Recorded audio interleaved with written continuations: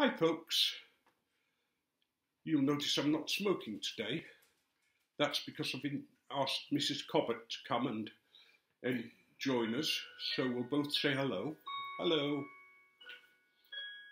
I've asked Carolyn to join us because I want to get her views on smoking and me smoking a pipe. When I said I wanted to smoke a pipe, what did you think? At the first, I think my heart sank because I thought you'd done so well stopping smoking when we were younger. Hmm. Um, that the idea of going back to, and also because it gets in all the clothes and the furniture and everything. Yeah. Uh, so that that kind of put me off at first, and then as I thought about it, I thought, well, certainly on the health thing, like you said before, you're already seventy, so how long do you want to live? Um, Well, thank you very much. well, no, but it's not going to kill you in the time that you know. Hmm. Never mind, I can dig myself a big hole there. Um, Well, it sounds as if you were digging a big hole for me somewhere. but but I sort of thought, well, yeah, it's it's up to you. You know, it's your decision, and if that's what you want to do, then you should be allowed to do Yeah. it. You know, you- you let me smoke indoors, even though I've offered to smoke outside. Do you want to say why? I think very much because um, if it was cigarettes, I probably would say, please don't. I really would rather you smoked outside. Yeah.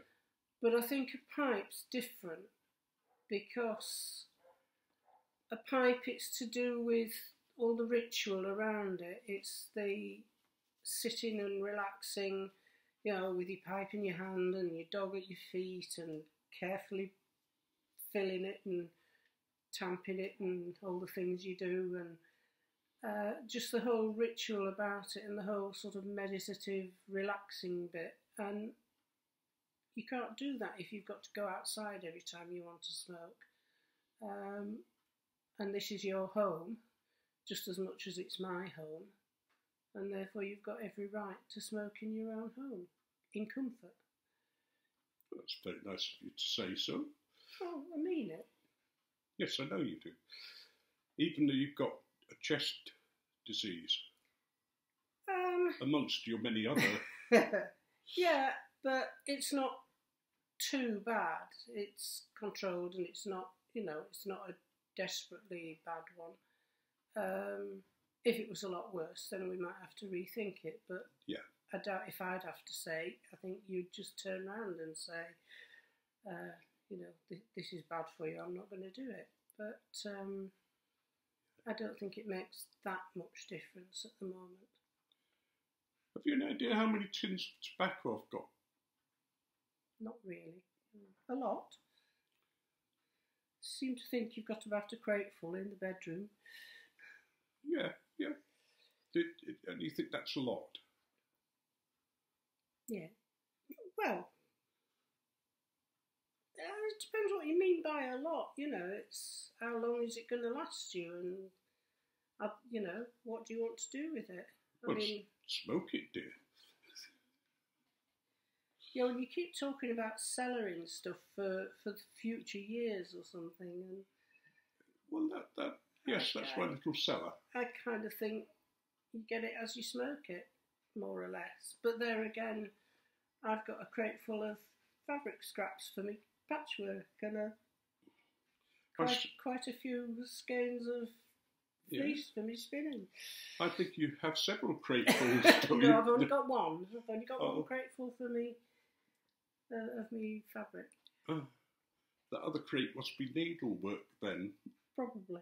And the, the right, I won't mention the other crates. Um, what do you think of snuff and chewing tobacco and cigars? You know what I think about those, but I don't think I can say it on air. Um, Yes, I you can. really they're, don't. they're broad-minded. I really don't like them. You don't Uh, yeah. no, I really don't. Um, I think I've said before. I when I was nursing, there were two things I couldn't stand. Uh, one was sucking out tracheotomy tubes, and one was vomit.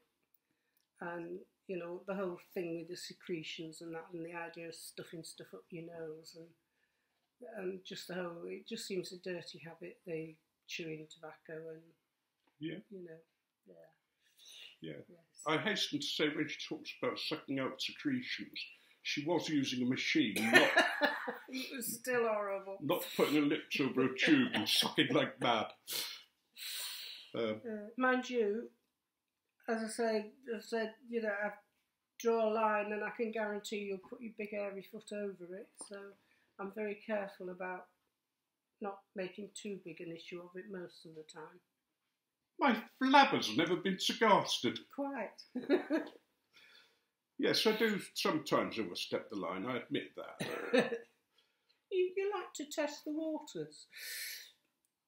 And I usually have to drag you out again. Well, perhaps. Um, what do you think of the YTPC? You know I'm online a lot.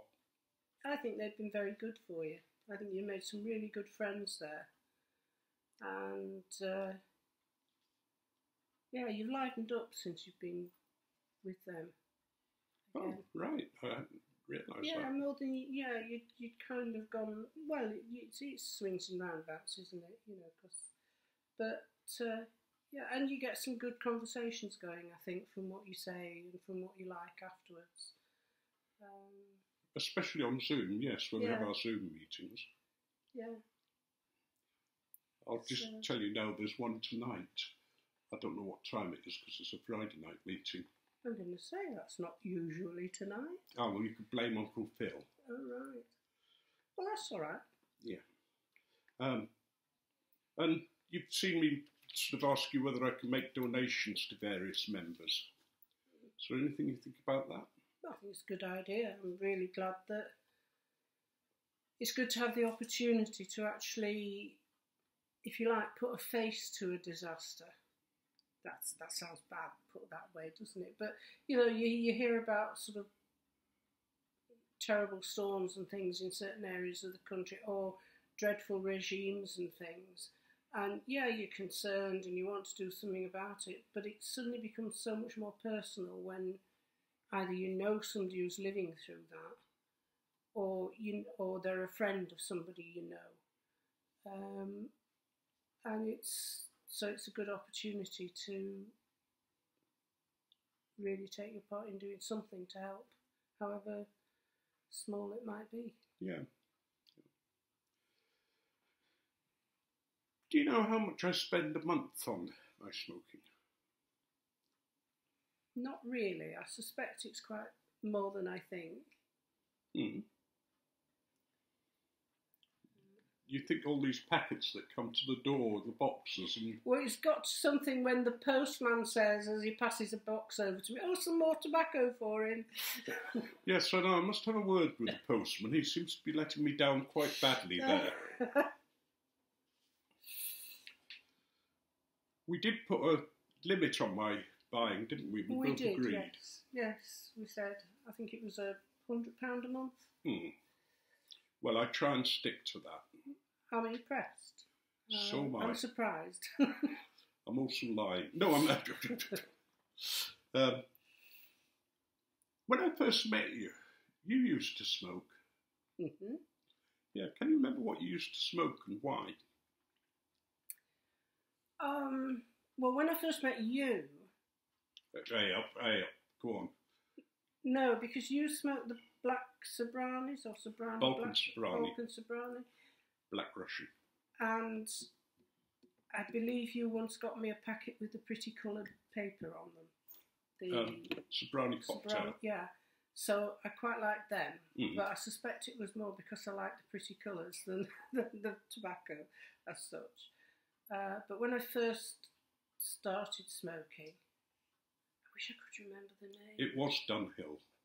Yeah, there was another one that I had when I was because I started smoking when I was at Harrogate Tech, Yeah. and it was very definitely a, a sort of a, an act of rebellion against the parents. Hmm.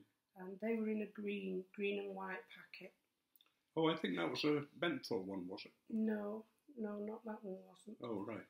Um, I can't remember what make it was, Hmm. but it was sort of one of the medium price ones, a bit a bit better than the Players number ten, but not into the really expensive bracket. Yeah. Um, but then when we were married, it was Players number ten because they were cheap. That's all we could afford. Tenpence half, tenpence halfpenny for twenty. Yeah. Can't believe it, can you? No. Um, but I used to uh, Dunhills was one I did used to yeah the one in the wine coloured box and uh, the menthol sometimes. Did nursing put you off smoking? Yeah, no, they that was the other thing that sort of got me hooked more on it. I think they they took us all in to show us this wonderful film about how bad it was and what it did, and showing you all these tar covered lungs and things and scarred lungs and Yeah. yeah, the first thing you did when you came out was, "Oh, I want a cigarette. I need a cig." Yeah. Yes. So it didn't work for you know. You used to like nursing. Yeah, I loved nursing. Yeah. Yeah, I enjoyed I enjoyed the interaction with the patients. You had time to then. Um, I mean, it's so different now. Hmm. Um, you know, we were, you know, we made the beds. We were there. We you had time to talk to the patients. When you'd finished the chores, for you know, I mean, it was Nightingale wards, so you'd got thirty beds, you Hmm. know, miles to walk.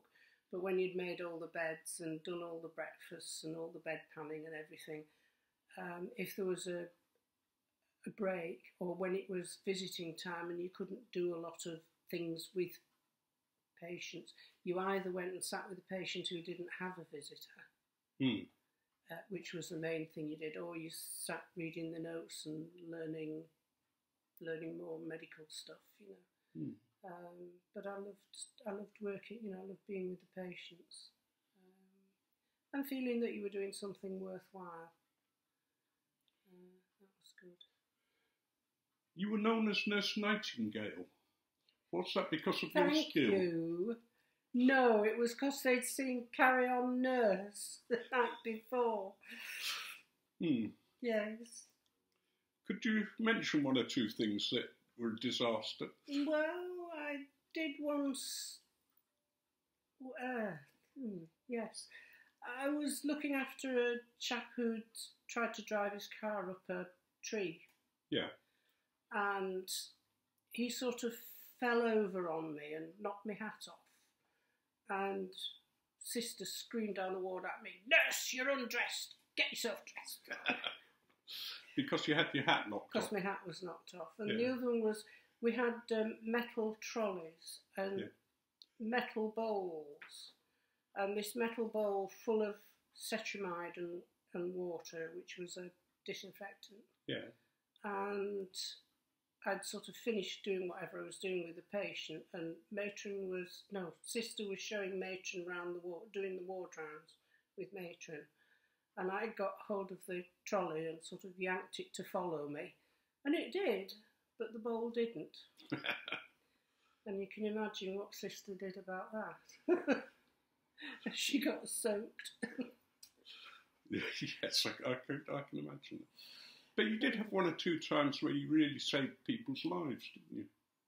Well, there was one when, again, even back then they were short of staff, so there was only one trained staff nurse or sis- Mm. ward sister and me on. It was late evening, and somebody who'd had a it had an operation on the main artery that comes off the aorta, Yeah. and um, I'd only been nursing.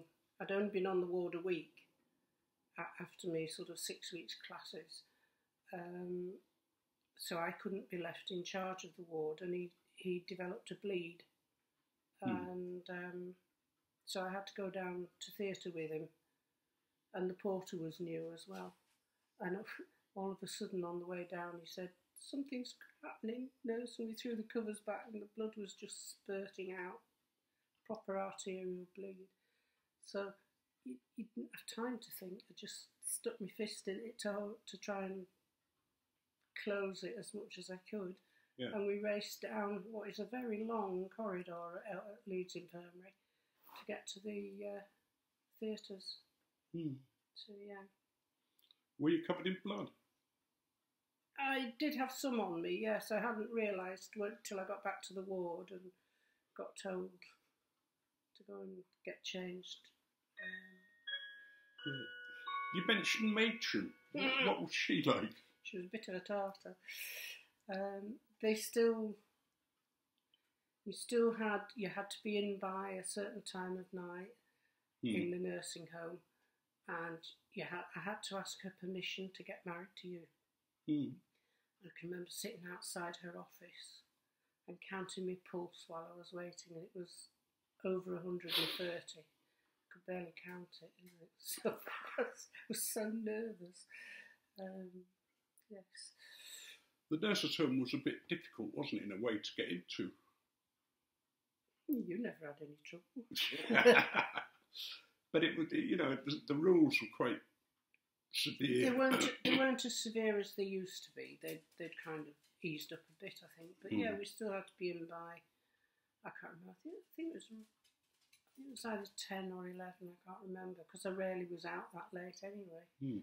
Uh, to be honest, after a shift on on the ward, I was so tired I just went to sleep.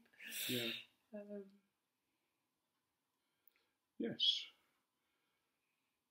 Well, uh, unless you've got anything that you want to say about me or about smoking or about stories or. um, I can't think of anything specific. No. Well, then, folks, I think we'll leave it there because we've. This is Carolyn's first time and she's been feeling quite nervous about it, and I want to try and get her on more and more often, depending on what you think. so we'll say bye bye for now. Bye. Be good.